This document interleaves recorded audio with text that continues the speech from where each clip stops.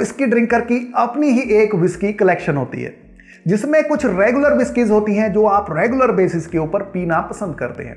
इसके साथ साथ आपकी कुछ फेवरेट प्रीमियम विस्की कलेक्शन भी होती है, जो आप अपने लिए किसी खास ओकेजन के लिए लेके आते हैं। अगर आपने उन बॉटल्स को अभी तक ओपन नहीं किया है तो आप उनको कितने भी टाइम के लिए स्टोर करके रख सकते हैं, वो कभी खराब नहीं होगी।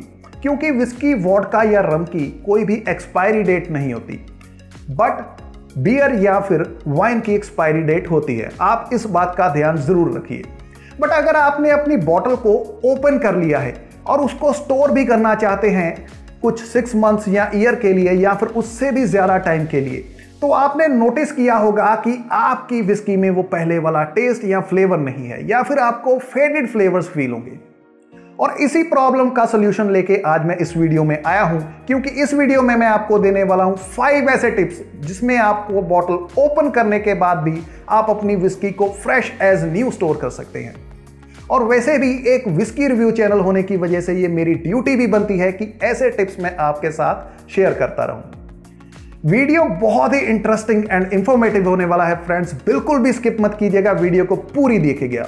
तो स्वागत है आप सबका आपके अपने चैनल अर्बन विस्की पे, जहाँ आपको ऐसी ही वीडियोस देखने को मिलती रहती हैं। अगर आप चैनल पे फ़र्स्ट टाइम आए हैं या फिर आपने अभी भी चैनल को सब्सक्राइब नहीं किया है तो प्लीज़ चैनल को सब्सक्राइब कीजिए और साथ में बेल आइकन को भी प्रेस कीजिए और उसे ऑल पे सेट कीजिए, ताकि आपके पास सभी नोटिफिकेशन पहुँच सके। काम और वीडियो अच्छी लगे तो वीडियो को लाइक ज़रूर कीजिए और ज़्यादा से ज़्यादा शेयर कीजिए, ताकि आप भी हमें हेल्प कर सकें चैनल को ग्रो करने के लिए। तो चलिए शुरू करते हैं आज की वीडियो। आज जो टिप्स मैं आपसे शेयर करने वाला हूँ, इन्हें खुद मैं अपनी कलेक्शन के ऊपर अप्लाई भी करता हूँ। तो चलिए अब आते हैं हमारी टिप नंबर वन पे।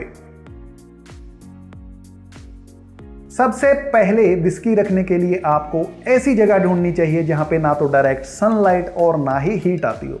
क्योंकि ये दोनों ही एनमीज हैं विस्कीज की। इससे आपकी विस्की के फ्लेवर्स चेंज भी हो सकते हैं और फेड भी। इसके लिए आपको एक ऐसी जगह चाहिए जो डार्क भी हो और ना ही वो ज़्यादा कूल हो और ना ही हॉट इसके लिए आप कपबोर्ड चूज़ कर सकते हैं या फिर एक बड़ा सा बॉक्स चूज़ कर सकते हैं। और बेस्ट ऑप्शन है कि अगर आपकी विस्की बॉटल आपको विद बॉक्स मिलती है तो आप उस बॉटल को हमेशा बॉक्स में ही रखें।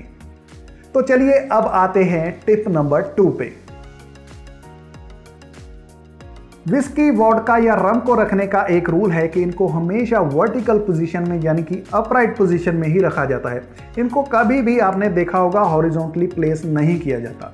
क्योंकि अगर आप इनको ऐसे रखेंगे तो आपकी विस्की लीक भी हो सकती है, जिससे मौका मिलेगा न्यू एयर को एंटर करने का बॉटल में, और इससे आपकी विस्की ऑक्सीडाइज भी हो सकती है, जिससे आपकी विस्की के फ्लेवर्स चेंज या फिर फेड भी हो सकते हैं। आप इस बात का ज़रूर ख्याल रखिए जब भी आप अपनी विस्की को स्टोर करते हैं।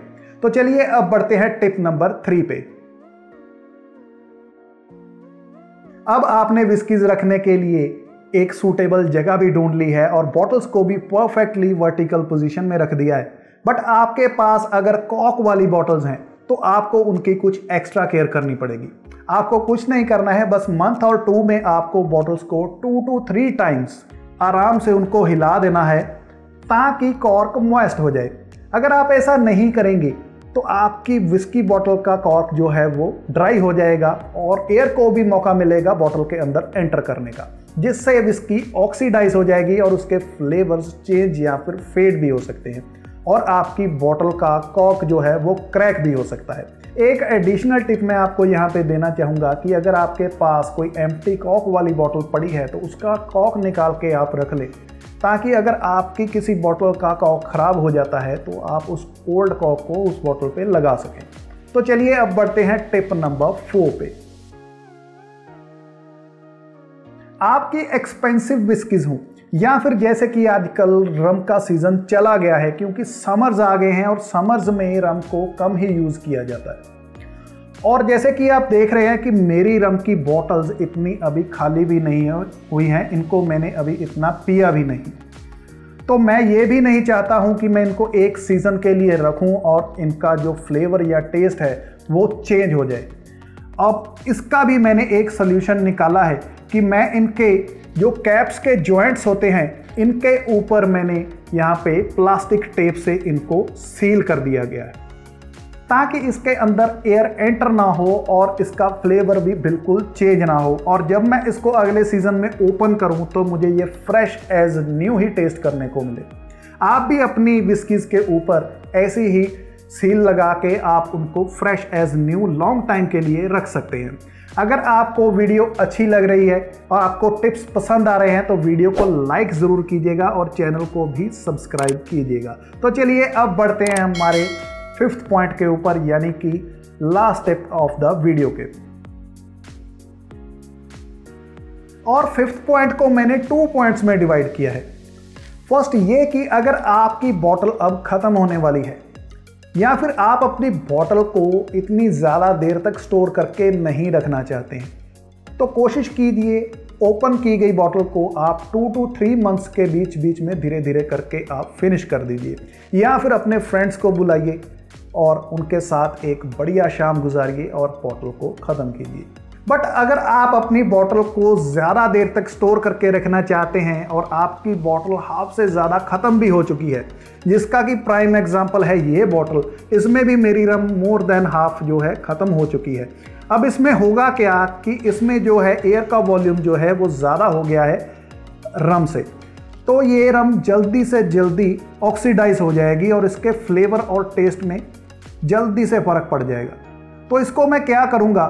इसको मैं जो है हाफ़ बॉटल मेरे पास एम्प्टी पड़ी है, मैं उसमें ट्रांसफ़र कर लूँगा, ताकि उस बॉटल में एयर की जो क्वांटिटी है, वो कम से कम रहे, जिससे कि इसका कॉन्टैक्ट एयर से कम होगा और ये ये जो मेरी रम है, ये ऑक्सीडाइज नहीं होगी और नेक्स्ट सीज़न के लिए ये जो मेरी रम है, वो फ्रेश एज न्यू रह जाएगी। और आप भी इसी स्ट्रेटेजी को अपनी विस्किस के साथ फॉलो कर सकते हैं। तो ये थी आज की वीडियो। आई होप कि आपको आज की वीडियो का टॉपिक ज़रूर पसंद आया होगा। आप अपने opinion suggestions and experiences share कीजिए मेरे साथ नीचे कमेंट बॉक्स में। अगर आपने अभी भी चैनल को सब्सक्राइब नहीं किया है तो प्लीज़ चैनल को अभी सब्सक्राइब कीजिए वीडियो को लाइक कीजिए और ज़्यादा से ज़्यादा शेयर कीजिए। तो मिलते हैं अगली वीडियो में किसी नए प्रोडक्ट के साथ। तब तक आप खुश रहिए इन्जॉय कीजिए, अपना और अपनी फैमिली का ख्याल रखिए। Always drink smart and responsibly पियो करो मौजा और लो नज़ारे। चीयर्स